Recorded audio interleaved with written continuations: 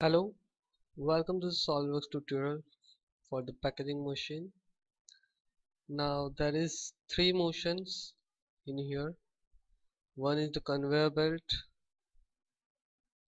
second is the vertical hopper mechanism, third is the horizontal motion mechanism. Now the hopper mechanism will work with their respective sensors First hopper mechanism will work with this proximity sensor, second will work with this proximity sensor.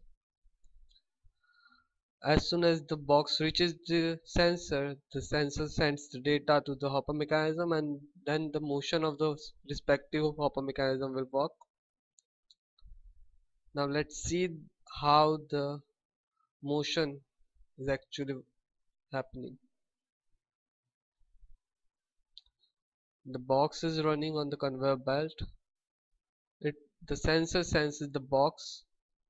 The data is sent to the hopper and the hopper mechanism works. Same way for the second sensor as well.